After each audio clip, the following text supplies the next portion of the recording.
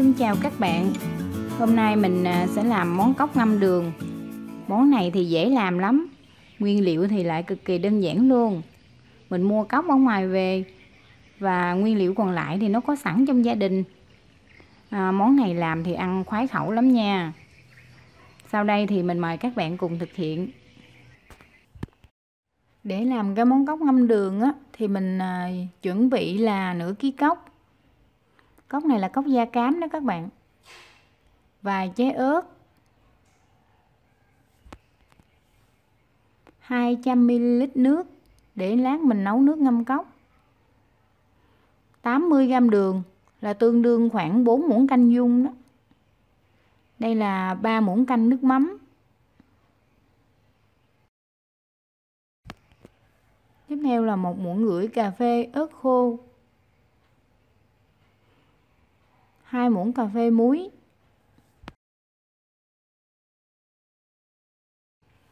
Nguyên liệu đã xong thì mình sẽ đi gọt cốc đây mình cho nước vào cái thau mình cho hai cái muỗng cà phê muối nãy mình chuẩn bị đó, vô mình à, khoa loãng ra. Mình quậy cho nước muối nó tan ra.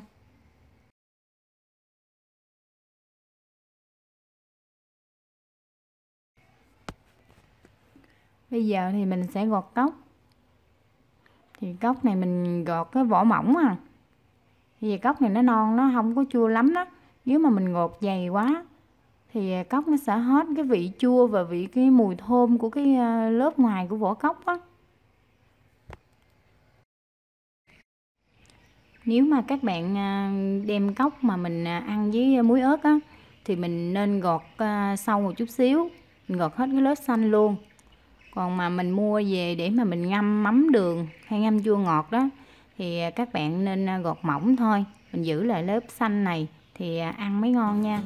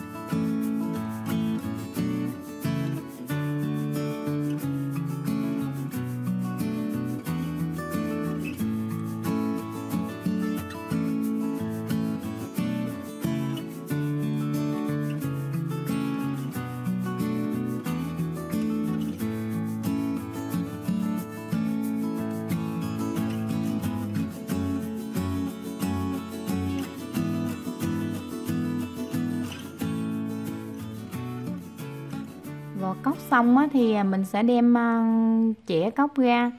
Cốc này là cốc non cho nên mình chỉ chẻ đôi là được rồi. Chẻ đôi ra cái miếng vừa ăn thôi. Các bạn nhìn là cốc mình nó non á mình chẻ nó dễ lắm. Cốc non này thì mình làm mình ăn hột được luôn mình không có cần bỏ hột.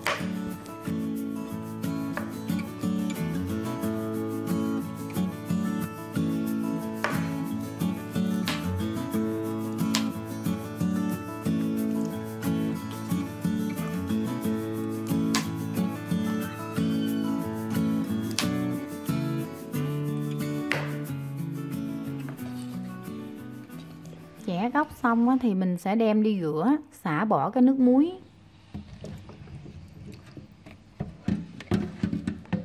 Mình sẽ đổ bỏ cái nước muối ra ngoài và mình cho nước vô để mình rửa lại.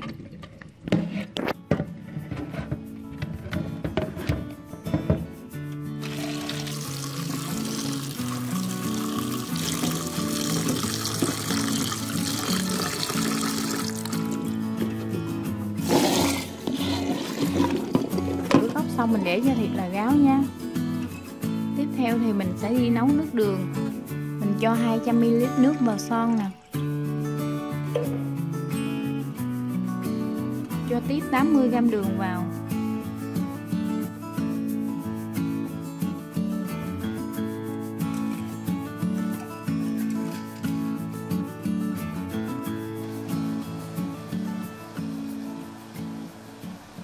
Mình khuấy lên mình nấu cho cái nước đường nó tan ra hết là được. Các bạn không cần phải nấu quá lâu nha. Đây mình tắt bếp và mình nhắc xuống mình để cho nước đường nguội hoàn toàn.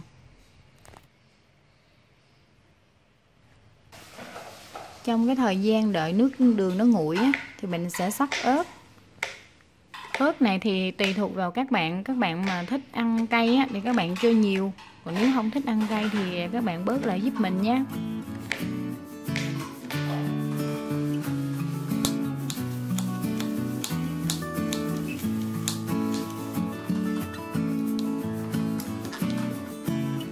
ớt này mình sẽ bỏ bớt hột và mình đem nó đi đâm.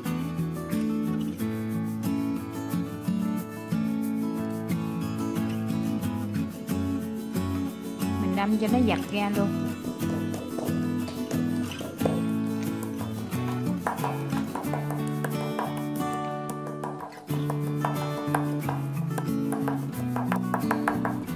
Ớt đã đâm xong rồi nè các bạn. Chỉ cần đâm dập như vậy thôi, không cần phải là mịn lắm đâu. Mình đâm như vậy mình muối cốc nó thơm lắm các bạn. Lúc này thì cái nồi nước đường của mình nó đã nguội rồi. Mình sẽ cho nước mắm vào. Mình cho tiếp ớt khô vào luôn.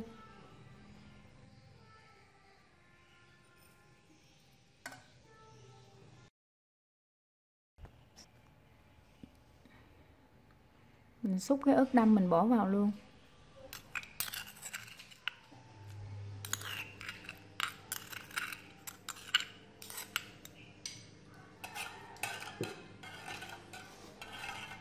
Đây là cái nước ngâm cốc của mình đó các bạn.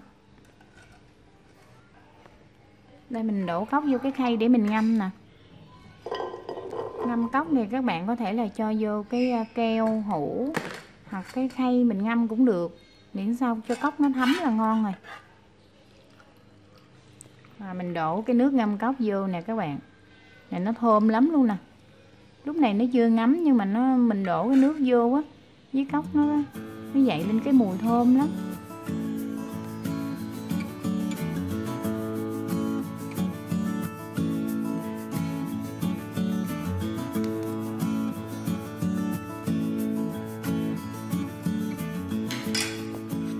Để cho nó đẹp thì mình cho thêm ít ớt sắc nè. Các bạn yên tâm đây mình làm này nhiều lần rồi, mình thấy ăn nó không cay đâu. Nó chua cay vừa phải à. Mình đậy nắp lại và mình à, để khoảng 4 tiếng là mình ăn nó rất là ngon. Và đây, cốc mình đã để được 4 tiếng rồi. Nó hơi ngã hơi cái màu vàng xuống nè các bạn. Mình dùng cái que tâm nè. Mình lấy thử một miếng cho các bạn xem nè à, cốc của mình lúc này nó thấm rồi. Và nó thơm mùi mắm ớt. Và mùi cốc nó dậy lên. Mình hấp dẫn lắm các bạn. Để mình ăn thử nha.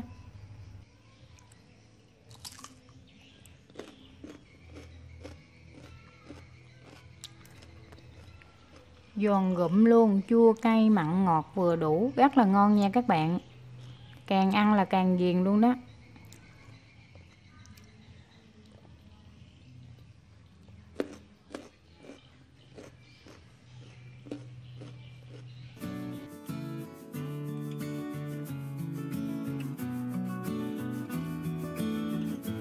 Các bạn hãy thử làm để ờ, cho gia đình mình thưởng thức nha.